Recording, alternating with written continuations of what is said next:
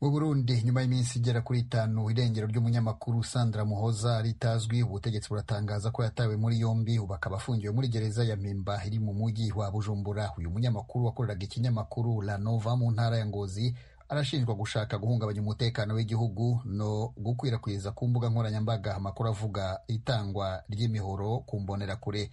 Izo ni urubyiruko rwo mu ishyaka riri ku butegetsi cndd-fdd inkuru y'umunyamakuru pierre claver niyo nkuru. Ijoro rya mbere mu iborero rikuru rya mpemba umumenyeshamakuru sandra muhoza yariraye mu gice c'abagore aho yashikanywe hafi saa imwe z'ijoro aho bita muri paviyo nk'uko amakuru avayo abitumenyesha. Sandra muhoza umumenyeshamakuru akora ikinyamakuru candika la nova burundi mu ntara ya ngozi ari naho asanzwe aba yafashwe ku munsi wa gatandatu uheze. Umwe mu bagize umuryango wiwe yatubwiye ko yari yitavye umugwizatunga akorera ku mugwa mukuru wa ngozi kugira ngo amuhe amakuru. Sandra muhoza yoba yarijijanije imitima ariko mu nyuma ahitamo kwitaba ubwo butumire kuko bwari bujanye n'akazi kiwe ka minsi yose.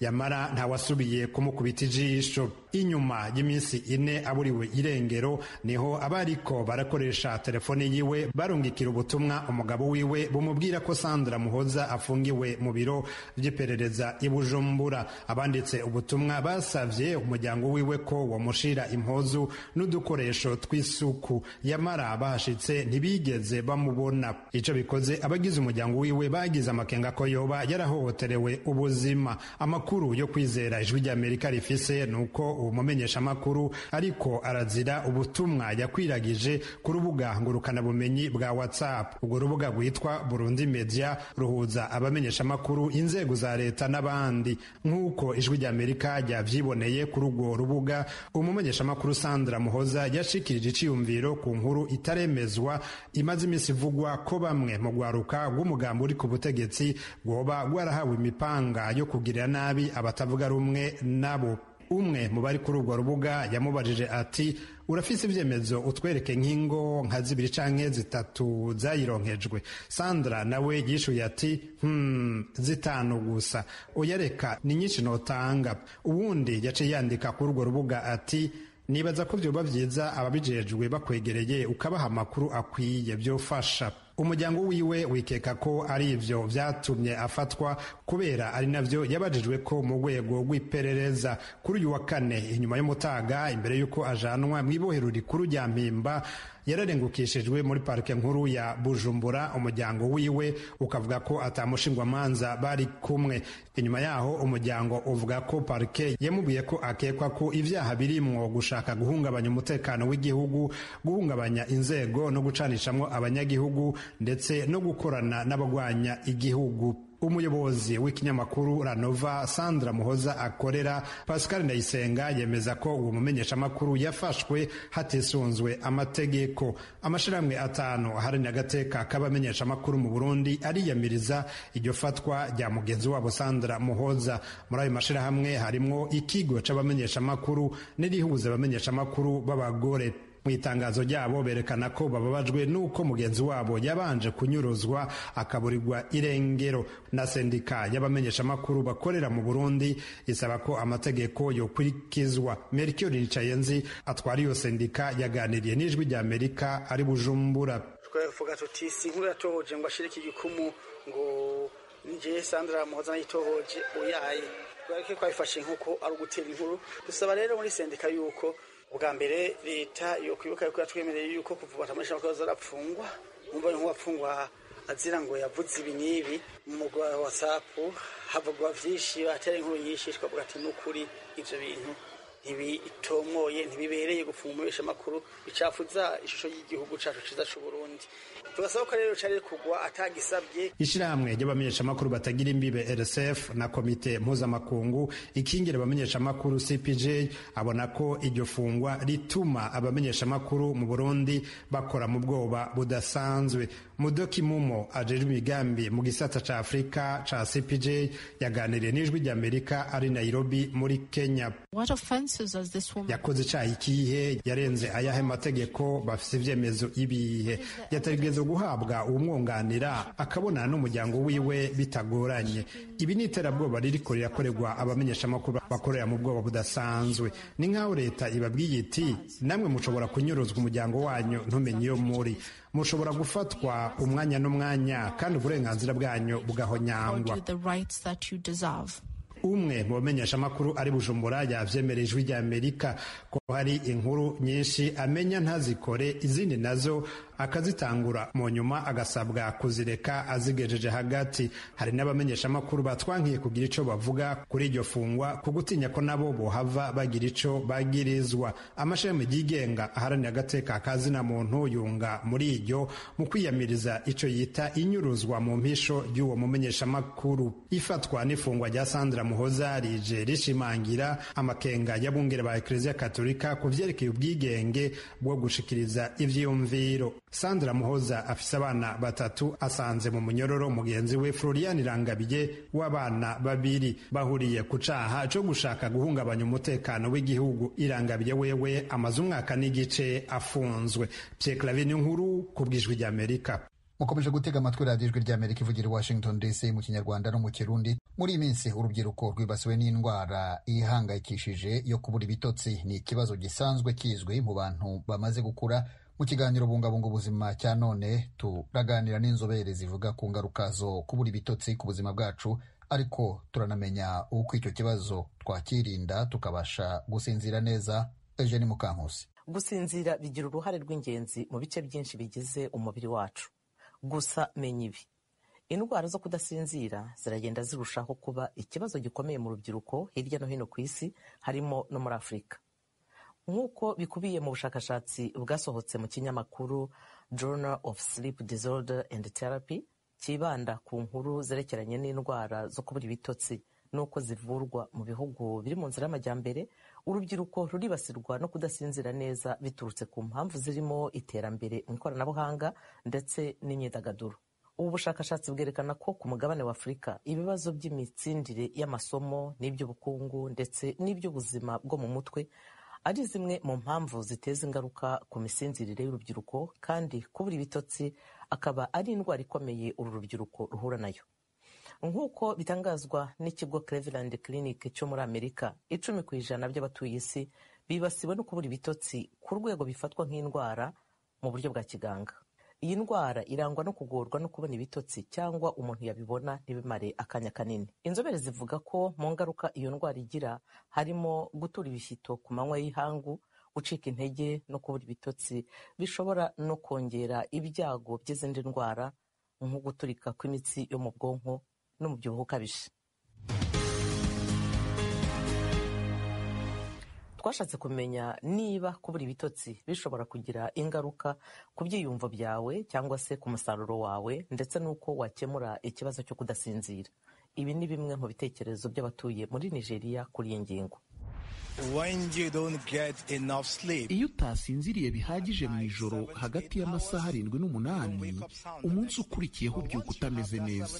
Ariko iyo ubonye ibitotsi by'amasaha hagati y'arindwi n'umunani ku munsi iyo ukangutse ubyuka umeze neza. Ugakomeza neza ibikorwa byawe bya buri munsi. Utasinziriye neza ntiwabasha kwishyura fagitire zawe kubona ifunguro ryawe ry'umunsi. Rero ibyo ubwabyo ni ibintu byakugiraho ingaruka. Iyo ntuje nza ku kiyaga nkicara ngatuza iyo ntasinziriye umunsi ubanza njya ku kazi numva mfite intege nke cyane. Nkunze gufata zimwe mu ngamba nko kwirinda kunywa ibintu byatuma mara ijoro ryose ntagohetse izo ni zimwe mu ngamba mfata mu kwirinda ko nabura ibitotsi.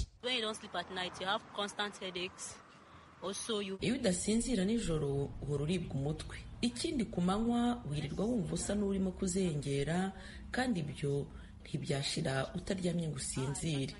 Ugomba gusinzira kugira ngo ubashe kongera kumererwa neza kubera ko ntushobora gushuka umubiri. Mu by'ukuri kubura ibitotsi bigira ingaruka ku buzima bwanjye. Numva ananiwe ku munsi ukurikiyeho igihe cyose naraye ntasinziriye. Urabyumva muri uwo munsi nguma no kumva ananiwe bikabije. Birangora gukora imirimo yanjye ya buri munsi. Mu myaka itatu ishize ndabyibuka. Mu gihe cya covid nyuma ya covid namaze hafi icyumweru mu bitaro kubera kubura ibitotsi. Iyo ntabashije gusinzira bihagije buri gihe birangora cyane cyane mu masaha y'akazi. Kandi hari n'ubwo ngira ikibazo cyo kuribwa umutwe iyo ntasinziriye nibura amasaha atandatu ku munsi. Buri gihe bigira ingaruka ku bikorwa byanjye bya buri munsi. Rimwe na rimwe iyo nyoye mu karu bituma ntasinzira ni kimwe n'ikawa. Sinjya nyinywa nijoro. Nk'umuyisilamu iyo ngiye kuryama nka saa yine n'igice cyangwa saa tanu z'ijoro mbyuka saa kumi n'igice cyangwa saa kumi n'imwe n'igice za mu gitondo nkasenga mbere yo gusubira kuryama nk'amasaha abiri. Ikintu cy'ibanze nkunze gukora kimfasha ni ukujya ahantu heza cyane cyane aho nshobora kubona umwuka mwiza ahantu hatari za kirogoya nkasinzirana amahoro y'umutima kandi ku gihe. Well, there isn't one primary cause of insomnia. It can be caused by a lot of different things like hari impamvu imwe y'ibanze itera indwara yo kubura ibitotsi ishobora guterwa n'ibintu byinshi binyuranye nk'umuhangayiko izindi ndwara zo kudasinzira neza ibibazo by'ubuvuzi gukoresha imiti runaka cyangwa kuyikoresha nabi ndetse n'izindi mpamvu zifatiye ku buryo umuntu abamo ku bijyanye n'uko isuzumwa dushobora gutandukanya hagati y'uburwayi bwo kubura ibitotsi bumara igihe gito ndetse n'ubwa burundu. Niba uku kubura ibitotsi bitarengeje amezi atatu umuntu akaba yamara nk'inshuro eshatu mu cyumweru cyangwa izirenzeho gato agorwa no gusinzira cyangwa akaguma ari maso kandi yari afite uburyo bwo kuryama ngo asinzire aho tuvuga ko ari iby'igihe gito kandi atari ngombwa kubyita uburwayi bwa burundu. Ariko kandi iyo bigeze kuri icyo gihe cy'amezi atatu ni ngombwa rwose kugerageza gufatirana hakiri kare ukaza ukavugana n'umuntu tukareba niba twatahura ikirimo kubitera ndetse bikaba byavurwa. Nibwira ko icyo gushaka ari uko wavura indwara yo kubura ibitotsi. Ikiba kirimo gushakwa ni igitera iki kibazo cyo kubura ibitotsi no kumenya niba ari indwara yo kudasinzira. Mu by'ukuri nakifuje ko ibyo byasuzumwa mu kigo cyemewe kivura indwara zirebana no gusinzira kugira ngo harebwe ikindi kibazo kijyanye n'imisinzirire cyaba kiyitera cyangwa se ikibazo cyo gusinzira wigaragura. Urugero hakarebwa niba birimo guterwa n'indwara yo kurashya amaguru ariyo akenshi ikunze gutera uburwayi bwo kubura ibitotsi. Hari abantu amaguru yabo atajya aguma hamwe nijoro baryamye. Hari kandi ugusuzuma niba ari ikibazo cy'ubuke bw'ubutare bwa fer no gusuzuma hakarebwa niba watangira kuvurwa. Ushobora guhabwa ibinini bigufasha gusinzira cyane cyane iyo ari iby'igihe gito. Bikaba byagufasha mu ijoro. Bikagufasha muri icyo cyumweru kimwe cyangwa ukwezi. Gusa uko igihe kigenda gishyira hari ubwo bitakaza ubushobozi bwabyo ugasa nk'aho bigusabye kongera ingano y'ibyo ufata cyangwa ukabaho buri gihe ari byo ukoresha. Ibyo rero bisobanuye ko bishobora kugufasha ku rwego runaka. Mu by'ukuri rimwe na rimwe mbikoresha by'igihe gito mu gusa nk'uhagarika ubu burwayi guhora bugaruka. Ariko kandi icyo nkunze kuvuga ni uko intego yo kuryama atari ugusinzira ngo uhereyo ahubwo ni ukuryama ugakanguka ukamererwa neza. Kandi iyo miti ishobora gutuma usinzira ugaherayo.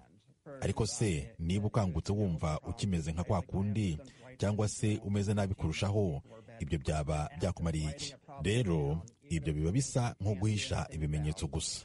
Mu by'ukuri ubuvuzi bufatiye ku mitekerereze n'imyitwarire nibwo bukwiriye ku ndwara yo kubura ibitotsi. Impfu zihutiyeho mu bana. Ni icyago kidakunze kubaho ariko gishengura abantu cyibasira imiryango hafi magana ane buri mwaka muri leta zunze ubumwe za amerika. Mu bushakashatsi bushya buheruka gukorwa na kaminuza ya new york hari icyizere gishya cyo gutahura impamvu itera zimwe muri izo mfu zibabaje. Umuryango wa bigani ni umwe muri myinshi bihanganye no gupfusha umwana by'amanzaganya. Umukobwa wabo rozi yapfuye afite imyaka ibiri. Rosi yari muzima wese. yari agakobwa kishimye cyane. yahoraga aseka igihe cyose. yakundaga kuba hafi y'umuryango we. Yari isi yacu. Ni nk'aho ubuzima bwacu bwose bwashingiraga kuri we. Ibyatangiye nk'umugoroba usanzwe mu muryango byarangiye hacitse igikuba ubwo babyukaga bagasanganirwa n'umurambo wa rozi mu gitondo cyakurikiyeho. Nakundaga kujya mu cyumba cye hanyuma ngezeyo nsanga atinyeganyeza mukoze ikiganza ku mugongo. Ubwo ni bwo buri kimwe cyamenyekanye ndabonye ko atinyagambura atanahumeka. Ako kanya twihutira kwa muganga. Nubwo yajyanywe bwangu ku bitaro abaganga ntibashoboye gutahura icyateye urupfu ruhutiyeho rwa rozi umuganga wasuzumye umurambo we yaraduhamagaye isuzuma ryabo ry'ibanze ntacyo ryatanze. Nk'uko byagenda ku mubyeyi wese wahuye n'isanganya nk'iryo umuryango wa bigane washakishije ibisubizo. Amakuru yaturutse mu bushakashatsi buheruka bwa kaminuza ya new york. Umuryango wa bigane wemeye kwitabira. Abashakashatsi basuzumye amashusho ya kamera yo mu cyumba cya rozi n'ayo mu by'abandi bana benshi. Bavumbuye icyaba cyarateye gupfa imburagihe. All five of the continuously videoed recordings videwo zafashwe zose uko ari eshanu zagaragaje ibihe byo gutakaza ubwenge no gusambagurika. byabanjirije igihamya cya videwo twari dufite mbere ahatari hakibonekamo ikimenyetso na kimwe cy'ubuzima. twabonye ko gusambagurika byamaze akanya gato igihe kitageze ku munota. Laura Gould yapfushije umwana w'umukobwa by'amanzaganya nawe apfuye mu buryo nk'ubu ubwo yari amaze amezi cumi n'atanu avutse. When a child dies, it is your worst nightmare as a parent. gupfusha umwana nizo nzozi mbi kurusha izindi kuri wowe nk'umubyeyi. Uba wacitsemo igikuba muri icyo gihe. Ariko birushaho kuba bibi iyo uhamagawe ku munsi ukurikiraho bakubwira ngo nta kibazo twasanze yari afite. Nta jambo ryabisobanura. Ugufatwa kwagaragaye mu mashusho ya kamera hamwe n'ibisubizo by'ibizamini byakozwe nyuma y'urupfu bishobora gutuma abantu basobanukirwa byimbitse ndetse bakaba banabasha gukumira impfu nk'izo. Is there something that we can study from those ese hari icyo twavana muri ibyo bisubizo mu kugaragaza ikintu kidasanzwe kuri abo bana. hanyuma kandi icyo twacyifashisha mu gusobanukirwa impamvu zatera icyo kibazo no kumenya abana bari mu byago byo kuba bafatwa na cyo. ni na yo mpamvu ayo mashusho ya kamera zo mu byumba by'abana yatubereye ikimenyetso gikomeye mu gushyira hamwe iyi nkuru. Hamwe n'ukwiyongera kw'ikoreshwa rya za kamera mu byumba abana bararamo hari icyizere ko impamvu nyazo zitera izi mfu zidasobanutse zishobora kuzagaragara. Umuryango water aid utangaza ko makumyabiri na gatanu ku ijana by'abatuye icyaro cyo muri eswatini batabona amazi meza yo kunywa. Abagera kandi kuri mirongo ine ku ijana by'abo baturage ntibagerwaho n'amazi. Umunyamakuru nokanya musi yaduteguriye iyi nkuru ari mu gace ka mampungwane ho mu karere ka rumbogo. Buri munsi jabugameze akora urugendo rw'ibirometero bibiri n'amaguru ajya ku ruzi rwa mukurubane isoko rukumbi y'amazi yitwa ko iri hafi yiwe mu gace ka mpungwane ko mu karere ka lupombo mu gihugu cya eswatini. Nubwo aya mazi yanduye n'inzira anyuramo ikaba iteje akaga kuko ashobora kuhamburirwa no gusamanywa ku ngufu. Avuga ko nta yandi mahitamo afite. Uko ibihe bigenda birushaho gushyuha hakumagara amazi dukesha kubaho ararushaho kuba make. Iriba ryatubereye isoko igihe kirekire ritangiye gukama. Nk'uko bitangazwa na loni ibipimo ngarukamwaka by'ubushyuhe muri eswatini byagiye byiyongeraho dogere selisiyusi zirenga eshanu. Hagati y'umwaka w'igihumbi kimwe magana cyenda mirongo itandatu na kabiri n'uw'ibihumbi bibiri. Izi mpinduka zateje igabanuka ry'amazi n'imigezi yisuka mu nzuzi n'ubwiyongere bw'indwara ziterwa n'amazi mabi. Tugomba kuzinduka tujya kuvoma amazi mbere yo kujya kwiga tujya kugera ku ishuri twamaze kunanirwa ndetse akenshi tugasinzira mu ishuri. Abana bacu bararwaye kandi amazi yacu ni mabi nta yandi mahitamo dufite uretse kuyanywa nubwo tuba tubizi ko azadutera indwara. Imiryango mpuzamahanga itanga imfashanyo nka water aids na world vision irimo gushaka uko yakemura ikibazo cy'ibura ry'amazi muri eswatini ibinyujije mu gutera inkunga iyubakwa ry'ibikorwa remezo bisukura amazi n'amariba mashya cyo kimwe no kuvugurura ibikorwa remezo by'isukura. Umuryango mpuzamahanga w'ubutwererane bw'abataliyani bugamije iterambere mu bihugu bikiri mu nzira y'amajyambere urimo gufatanya n'abaturage b'imapungwane mu kubaka umuyoboro mushya w'isukuriro ry'amazi uzamurikwa mu minsi ya vuba.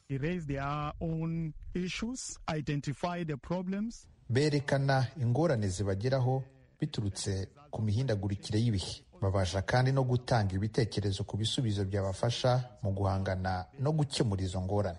Amakipe y'abanyeshuri agera kuri magana atandatu aturuka mu bihugu bitandukanye byo ku isi niyo arimo kurushanwa mugenzi wacu tim ishimwe harris yavuganye na babiri muri abo banyeshuri bitabiriye ayo marushanwa. Amarushanwa twajemo twubaka robo yacu igakora nyine ibyo yasabwe gukora kuri mati bayihaye mu rwanda twarabyize ko dufite umuntu wadufashaga umukoci wacu yadufashaga kubyiga guteranya amarobo ngo nyine ikore ibyo yasabwe gukora nyine. None kugira ngo muve mu rwanda muze hano. Uru rwego rwo kuba mwaje kurushanwa hano muri amerika muri kumwe n'abandi bantu baturutse mu bindi bihugu bagera hari kuri magana atandatu. Hano uru rwego mwarugezeho gute? Uru rwego kugira ngo turugeraho byasabye ko tubanza twabanje gukora ku ntara nyine. Turatsinda tumaze gukora ku ntara cyenda ku rwego rw'igihugu hariya mwatubonaga muri ntare arena. Turatsinda tuba aba mbere sorry. Noneho tugira hano kuri hano mu rwego rwa international mu mahanga yose nyine. Muri texas houston. Hano muri amerika wahabonye gute? Hano muri amerika ni igihugu cyiza igihugu kirimo abantu benshi gifite ahantu henshi wajya harimo abantu nyine barisanzura cyane bari ntabwo usanga abana nyine nyine abana bafite ibitekerezo byinshi cyane abantu bahari bafite umutima mwiza. Ahantu ho gutembera ni henshi cyane pe. Tugarutse ku marushanwa gatoya umbwiye ko mwahereye mu rwanda mugenda mukora amarushanwa kugeza muba mbere ndetse mukibona mwageze noneho ku rwego mpuzamahanga. Iyo ugeze mu marushanwa nk'aya ngaya hari igihe ureba abandi bana muri kumwe ukabona hari icyo bakurusha cyangwa se hari ikintu wabigiraho. Ntabwo iyo uri kubona abantu benshi utamenyereye bishobora wenda kugutera ikintu cy'ubwoba ukumva nubwo bwose uzi icyo uri gukora ariko ukumva utewe ubwoba nuko abandi ubona bari imbere yawe. Iby'ubwoba twebwe ntabwo tubigira kuko twebwe duhagarariye igihugu cyacu kandi umuntu uhagarariye igihugu cye ntabwo agomba kugira ubwoba agomba kuba akomeye. Ntabwo mvuga ubwoba bw'uko hari icyo waba ndavuga ubwoba bw'uko wenda ubona abo muri guhangana abo muri kurushanwa bashobora wenda kuba bari imbere yanyu babarusha cyangwa se ukumva ufite ka kantu kakoba nko umunyeshuri agira nk'ubwoba bw'ikizami n'ubwo bwoba ndi kuvuga. Twebwe ntabwo ari ikintu nyine wagira ubwoba pe. Aya makompetisiyo ni ibintu bisaba ibintu kiba nk'imyidagaduro ni ukuvuga ko mwiyizeye. Turiyizeye hari ikintu uri kubona muri iri rushanwa uzigira ku bandi banyeshuri mwahuriye baturutse hirya no hino ku isi cyangwa se hari icyo bo bashobora kubigiraho? Hari ibintu byinshi cyane twigiye kuri abantu twasanze hano hari n'ibyo batwigiraho bishobotse. Urugero? Icyo twakwigira kuri aba bantu twasanze hano ni ukuntu nyine bisanzura barihuta cyane mu bintu byose bakora. Hari nk'imbogamizi wavuga mwahuye na zo mukigera ahangaha cyangwa se izo muri guhura na zo ubu ngubu ni izihe ikintu twahuye na cyo ni wenda igihe ni igihe n'ikirere biragoye cyane ko amasanga hano bari hari mu gitondo ahangaha nijoro usanga tunaniyemo ukuntu bibutinda kwira usanga ati nka saa mbiri ugasanga cyari izuba ukibaza eh harakonje cyane yagiye hakonje usanga hashyushye. Muramutse mutsinze ayo marushanwa murimo mwiteguye gutahana intsinzi mumeze mute? Twishimye cyane. Tubifurije amahirwe.